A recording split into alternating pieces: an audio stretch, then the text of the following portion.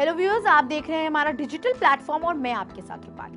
देश में पेट्रोल और डीजल की कीमतें में बढ़ोतरी का सिलसिला थमने का नाम नहीं ले रहा है। इंडियन पेट्रोलियम मार्केट कंपनीज़ ने आज 30 मार्च 2022 को भी पेट्रोल और डीजल की कीमतों में इजाफा कर दिया है। राष्ट्रीय राजधानी दिल्ली में पेट्रोल डीजल दोनों ही ईंधन के दामों में 80-80 पैसे प्रति लीटर की बढ़ोतरी हो गई है। साथ ही पेट्रोल 101 प्रति लीटर के पार पहुँच गया है। देश भर में महँगे पेट्रोल से लोग परेशान हैं। लगभग सभी राज्यों में पेट्रोल सौ रुपए प्रति लीटर के ऊपर बिक रहा है। इस बीच, बीते नौ दिनों से तेल की कीमतों पर महँगाई की मार जारी है।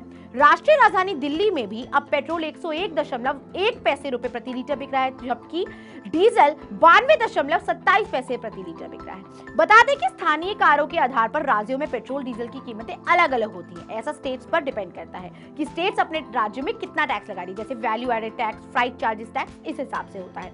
देश में चारों महानगरों की अगर तुलना करें तो मुंबई पेट्रोल डीजल में सबसे अधिक महँगा हो गया है। आइए जानते हैं प्रमुख महानगरों में पेट्रोल डीजल का क्या भाव है।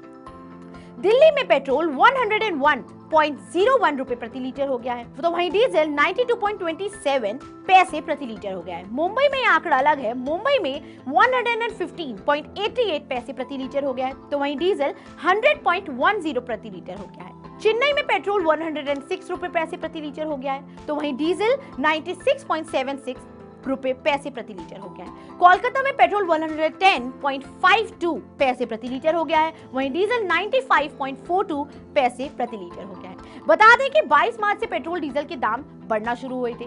तब से अब तक सिर्फ़ एक दिन के अंदर, यानी एक दिन छोड़कर 24 मार्च छोड़कर, हर रोज कीमतें जो है, वो उछाल ला रही हैं। उनतीस मार्च की बढ़ोतरी की जोड़ लें तो नौ दिनों में पेट्रोल पाँच रुपए साठ पैसे महँगा हो गया है। किस दिन कितने बढ़े हैं दाम, वो मैं आपको बता देती हूँ। 22 मार्च से 26 मार्च तक 80 पैसे बढ़े हैं। तो वही 27 मार्च को 50 पैसे और 28 मार्च को 30 पैसे और 29 मार्च को 80 पैसे बढ़े हैं। वहीं 30 मार्च, यानी कि आज 80 पैसे बढ़ गए हैं। आपको बता दें कि महँगाई का यह घर थमने का नाम नहीं लेने वाला है।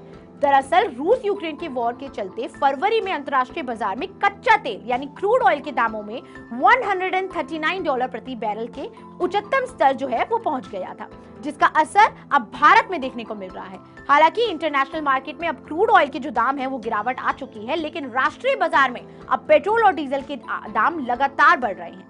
22 मार्च से अब तक, यानी 9 दिनों में आठ बार तेल कंपनियों ने वाहन ईंधन के जो दाम है, फ्यूल पेट्रोल के जो दाम है, वो बढ़ाए हैं। एक्सपर्टाइज के अनुसार ही अगर कीमतों में बढ़ोतरी का जो ये सिलसिला है, ये थमने नहीं वाला है। ये जो सिलसिला है, ये बढ़ता ही चला जाएगा। बहरहाल, महँगाई की मार आम आदमी को कहाँ तक लेके जाती है, ये तो वक्त ही बताएगा। इसी के साथ मैं ये वीडियो एंड करती हूँ। आपको वीडियो अच्छी लगी तो मोर अपडेट्स के लिए हमारे चैनल को सब्सक्राइब कीजिए, वीडियो को लाइक कीजिए और शेयर करना बिल्कुल ना